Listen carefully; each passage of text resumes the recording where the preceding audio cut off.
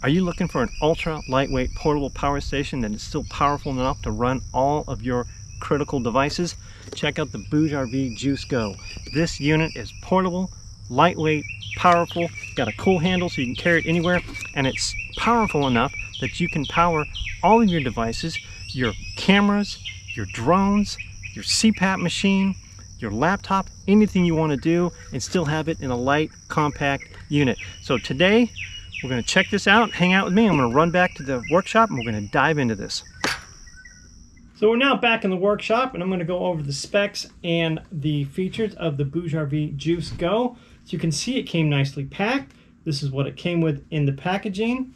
For a unit weighing just over six pounds and being this small, it's got an impressive capacity of 240 watt hours. Let's go over the front a little bit more. So here's the LED screen. You can see the power button, AC button, LED button, the DC input, the cigarette port output. It's got USB C1 output and input, USB C2 output, USB A output. On the back side, again, there's the AC output and the cooling fans. It can do 150 watts of AC output, 130 watts DC output. The Type C output, C1 is 100 watts, C2 is 30 watts. USB output is 13 watts. So it's got this really cool flashlight with three LED modes and it's got a five-year warranty from Bouge RV, so you know they're going to be around to support the unit in case anything happens to it. So now I'm going to run it through the standard test that I would on any power station. We're going to check the capacity, we're going to check the output, we're going to check the charging, we're going to do all of that. So hang out, let's have some fun. Well, I used the Bouge RV Juice Go for several days, and now I'm going to tell you what my experience was. I'm going to start with the charging. There are four ways to charge the unit. AC, which I didn't use because I don't have the optional AC adapter. Then there's the Type C, which I struggled with, but just the limits of my setup. Then there is the car charging, which worked perfectly fine. I got about 85, 86 watts out of that. But where it really stood out was the solar. I was able to get 100 watts of solar in consistently. So the charging on the unit is really good. Now let's talk about the capacity of the unit.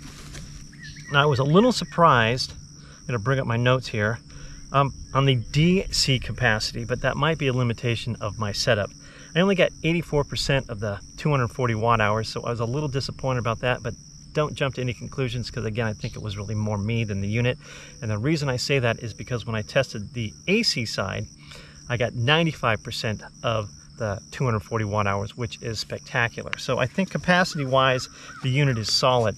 Now, as far as functionality, I mean, it's got the, you know the Type C, it's got the USB, it's got the um, car cigarette lighter adapter. Uh, you can do all sorts of things with it. And let's not forget about this AC. I mean, you can do 150 watts out of this AC side. So you can power a laptop, you can power a CPAP machine. So you could go hiking with your iPad or your laptop and this and um, have very little weight and be able to charge everything up. And if you have a little solar panel with you, I mean, you can be off grid for a while and have all the power and energy that you're going to need. That brings me to where would you use it? Well, you'd use it here. You'd use it at the beach. You'd use it camping. You'd use it hiking. You'd use it anywhere outdoors. It's perfect for that. But you could also use it other places. You could use it for emergency backup. Now, the unit's not going to run your whole house for a month. I mean, it's a teeny weeny little six pound unit.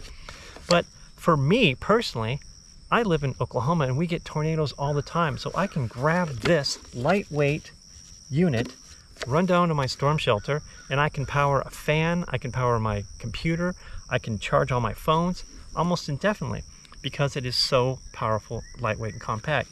So it's a very impressive unit. Um, I really liked it. Um, if you are interested in buying it, you, there's a link below that you can click. I would say get a couple of them. You know, I would keep one in the car. I'd keep one by your go bag. I keep one in, uh, with the with the camping gear. I mean, it's uh, at the price and at the uh, with the power and the, um, you know the portability. I mean, it's just a no-brainer to get. Um, very impressed with it. If anyone's used the product or used something else like it, love to hear what you have to say about it. As always, like, comment, share, subscribe. Um, I'm going to jump into the boat now and go enjoy this beautiful Oklahoma morning. So thanks for watching, and I'll talk to everyone soon.